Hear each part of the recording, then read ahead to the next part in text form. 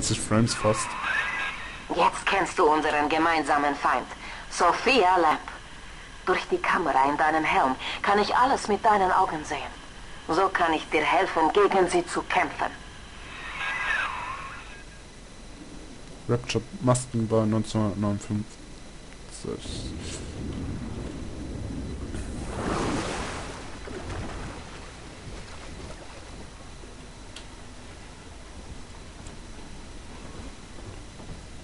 Ja. Ich denke mal, ich werde auch demnächst einen Cut machen, weil ich möchte auch sehen, wie groß ungefähr die Videos jetzt werden. Vorsicht! Die Sicherheitskameras gehören Lamp. Aber wenn du clever bist, können sie dir nützlich sein.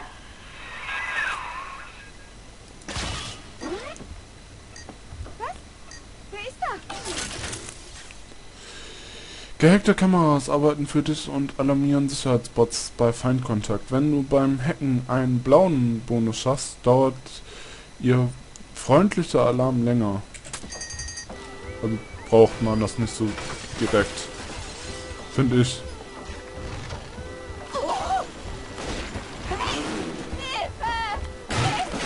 Nee. Du hast da was, ich will dir das nur abbohren.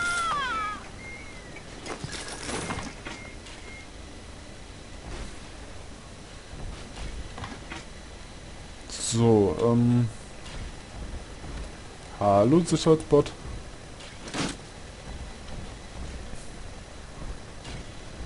Und ich habe genau das gleiche Problem wie beim... Wir sind nur die Steine, die den Weg bereiten. Aha, gut. Ähm... Ah, Verbandskasten, sehr schön. Ich habe bis jetzt auch keinen Kaufautomaten gesehen.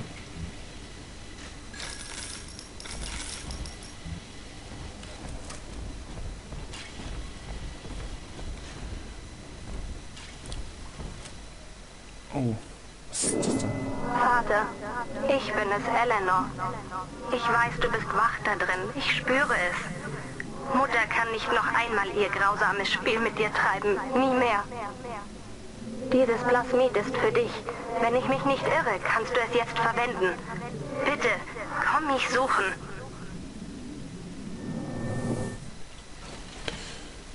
Ja, anscheinend äh, kannst du einen Feinden. Komm so schnell du kannst und finde mich, also.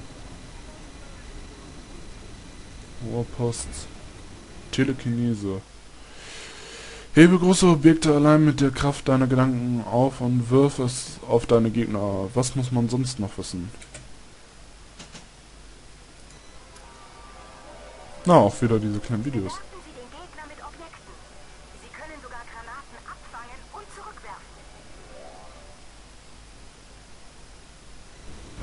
Also es ist genau dasselbe wie das Videos wie ähm, wie damals im ersten Teil.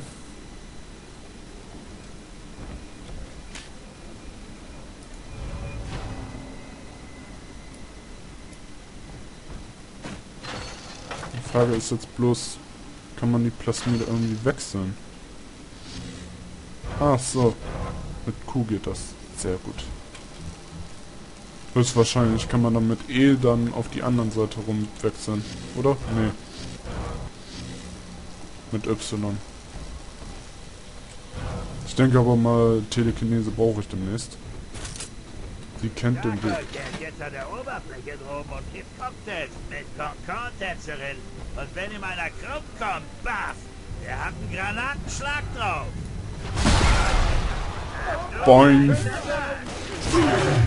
Ui. Bams. Auf. Bams. Bams. Was? Noch mehr? So. Jetzt aber. Und da ist es Ruhe im Karton.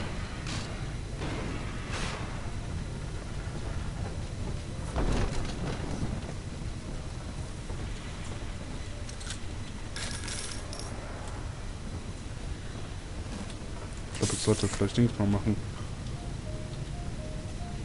Kann ich vielleicht irgendwie Plasmid auch aufladen oder geht das nicht? Ah, egal. Hm, wo ist das Geld? Ah, da. Da ist es ja.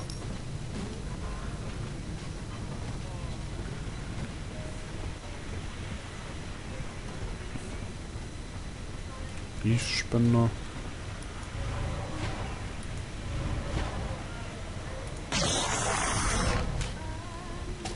So, damit ich mir noch mal eine Eve-Spritze holen kann. Und dann würde ich langsam aber sicher mal sagen, hören wir uns noch das Tagebuch an und dann würde ich auch sagen, dass wir einen Cut machen. Diese Menschen sind süchtig nach irgendeiner genetischen Wunderdroge namens Adam. Ich habe das Wort Splicer gelesen, auf Wände geschmiert wie eine Warnung. Einer von denen trieb mich in die Enge und Himmel, sein Gesicht. Ich hatte eine Waffe, aber ich zögerte und dann... Dann hörten wir plötzlich beide diesen... diesen Singsang, wie aus dem Nichts. Und er ist abgehauen, als wäre der Teufel hinter ihm her. Es hörte sich an wie ein Kind. Ein kleines Mädchen. Cindy ist am Leben. Das spüre ich einfach. Ja, Cindy ist anscheinend wohl immer noch am Leben. Ähm, wie es weitergeht, ob wir überhaupt Eleanor finden, ob wir Sophia Lamp finden oder ob wir überhaupt die gute Tennenbaum finden. Das erfahren wir vielleicht in der nächsten Aufnahmesession von Let's Play Bioshock 2. Also bis zum nächsten Let's Play Part. Blatex FB, meldet sich ab. So, willkommen zurück zu Let's Play Bioshock 2. Ich hoffe, ja, es funktioniert jetzt auch wieder. Ähm, mal eben hier so ein bisschen was machen. Ähm, das letzte Mal... Okay, nett. Kommt ja ganz viel raus. Hm, yum, yum, yum, yum, yum.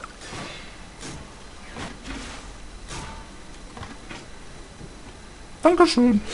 Nein, ähm, das letzte Mal haben wir hier ein bisschen was im Rapture rumgeforscht. Äh, in der Cafeteria war ich glaube ich noch gar nicht. Und ich habe auch vor, jetzt ein bisschen mehr auf die ähm, Plasmide auch zu gehen. Also ein bisschen mehr auf Plasmidkämpfe. Weil im ersten Teil habe ich doch ziemlich wenig mit denen gekämpft, finde ich. Aber das denke ich mal könnt ihr dann erzählen, wenn ich dann so weit bin. Weiß ist nicht schwarz, Dr. Lamb. Unten ist nicht oben und Stroh ist kein Gold. Sehen Sie sich um. Rapture ist kein Wunder. Es ist ein Produkt des Verstandes und der Logik. Unmöglich, wenn 1 und 1 nicht 2 ergibt und A nicht gleich A ist. Und doch, für sich alleine ist jeder Mensch ein Gefangener seiner Vorurteile, Träume, Wahnvorstellungen oder der Phantomschmerz amputierter Gliedmaßen. Für den Einzelnen sind sie vollkommen real. Realität ist Konsens. Und die Menschen verlieren ihren Glauben. Gehen Sie mal spazieren, Andrew. Es regnet in Rapture. Und Sie haben einfach beschlossen, es nicht zu bemerken. So. Ähm, ich hatte in den vorherigen Parts leichte Probleme damit, Sachen aus den Dings zu holen. Übrigens, das hier wusste ich schon vorher. Also es ist nur so ein bisschen gewesen, weil ich konnte hier aus den Leichen, konnte ich nämlich nicht die Sachen rausholen. Das hat mich dann so ein bisschen genervt. Und dabei bin ich aus Versehen auch auf die Aufnehmen-Taste dann auch gekommen bei der zweiten Aufnahme. Und bei, erst bei der zweiten Aufnahme habe ich das hier gesehen. Aber trotzdem weiß ich nicht weiter. Ähm, So, da, da, da, da will ich hin, da ist Munition.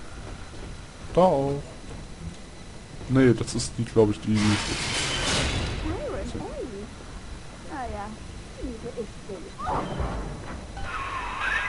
Ja, Sophia Lambert, die Splicer auf dich.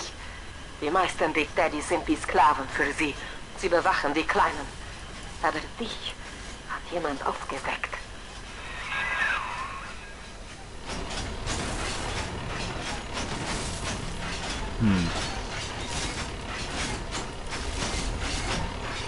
Ah, ja, ja, ja, ja, ich verstehe schon. Nee.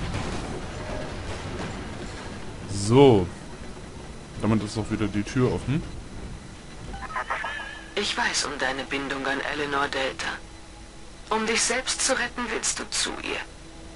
Aber Eleanor hat eine Bestimmung. Und du kommst darin nicht vor. Im Paradies ist kein Platz für dich. Wie machst du das? Mit Telekinese? Oder warum machst du das immer so? In der ethischen Psychiatrie müssen wir die Rolle der Evolution bedenken. Depressionen, Panikattacken, sexuelle Störungen, alles Reaktionen auf den uralten Druck der natürlichen Auslese. Das Ironische ist, genau dieser Theorie wegen haben Ryans Leute mich hierher eingeladen. Sie missverstehen meine Studien der Naturgesetze als Verherrlichung des Faustrechts. Denk immer daran, Eleanor. Man muss die Bestie kennen, bevor man sie töten kann.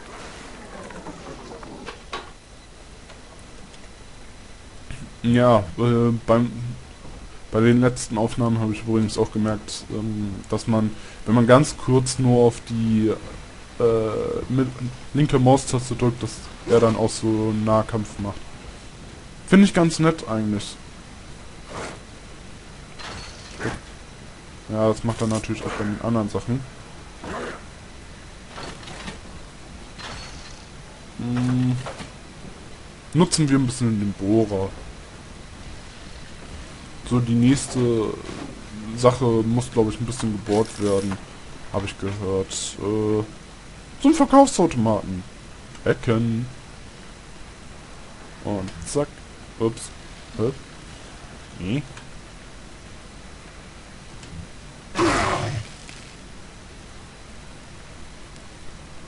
Wie muss ich das denn jetzt machen? Hä?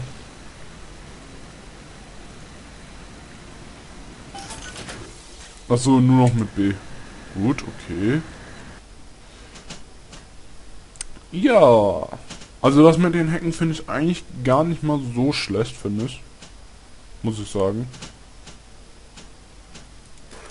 Mal so ein paar Verbandskästlein. Könnte ich schon kaufen.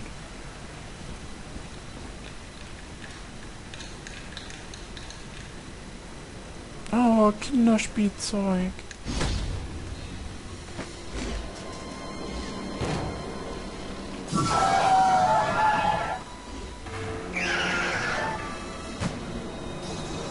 Hallo Big Sister.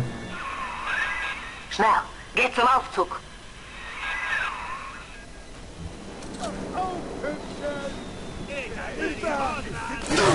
Hallo. Oh, oh, jetzt.